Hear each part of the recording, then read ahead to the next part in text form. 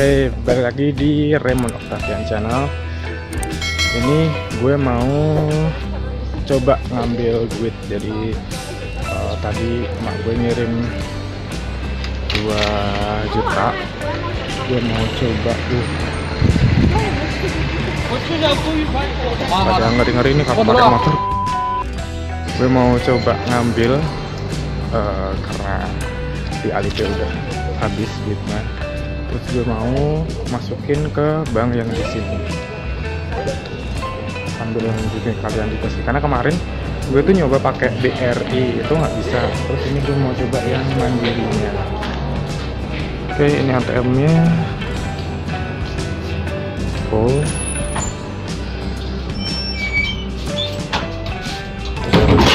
kalau dia ngunci sendiri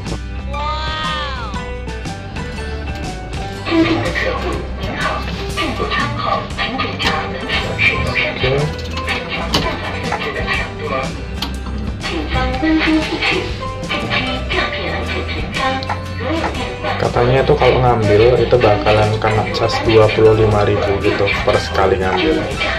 Sekali transaksi. Jadi nggak usah cek saldo. Cek dari ini aja. Dari e-banking heboh banget sih emang ini suaranya tut tut tut gitu. Settings coba. Sorry bun udah ada sih goblok ya. Udah ya. Confirm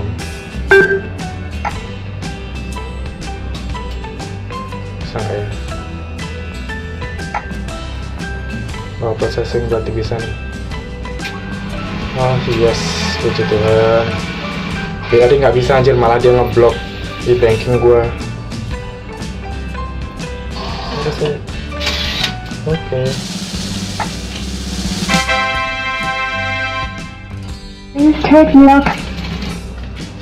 Udah, terus apa? Uh, take card. If you do not need any other service, Sudah, sesimpel itu. Mari kita uh, masukin ke bank yang China-nya, tapi nanti di finance building sih. Mau keluar harus dibuka dulu.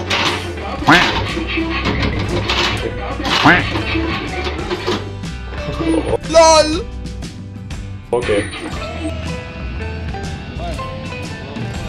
So ini gedung finance ya. Mari kita naik. Di lantai dua sih kemarin.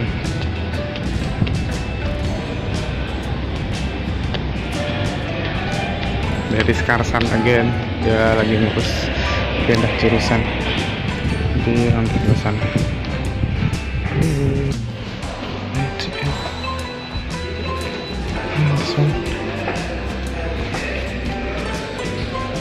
Hmm. Masih naga.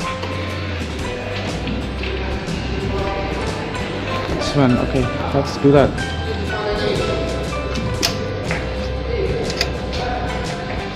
Jadi tadi kan dari rupiah diambil ke RMB. Sekarang RMB, store RMB. Gaya lah ya. Oke, English.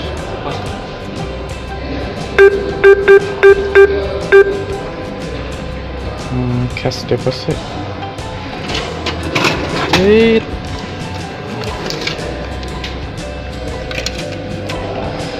Wait. I think it's okay.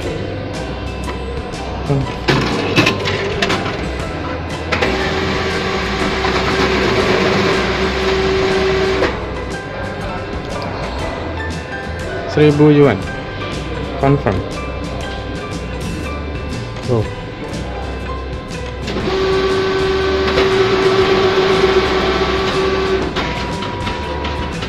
Udah ada langsung ada SMS masuk. Keren kan? Take card.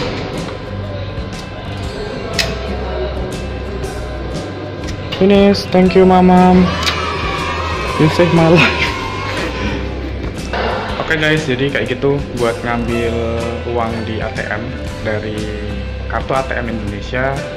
Jadi lo bisa ngambil dari rupiah ke renminbi, terus kalau mau masukin ya udah tinggal masukin itu aja. Prosesnya sama sama di Indonesia paling cuman ya lo pakai bahasa Indonesia eh, bahasa Inggris aja karena nggak ada pilihan bahasa Indonesia. Jadi eh, karena sistemnya sudah semua pakai Alipay itu ya udah mau nggak mau kita harus cashless di sini kan. Kalau dari uh, bank mau transfer ke bank itu susah. So ya udah caranya minta orang rumah untuk transfer ke bank lokal terus nanti kita ambil dari sini dari sini kita uh, depositin ke bank sini.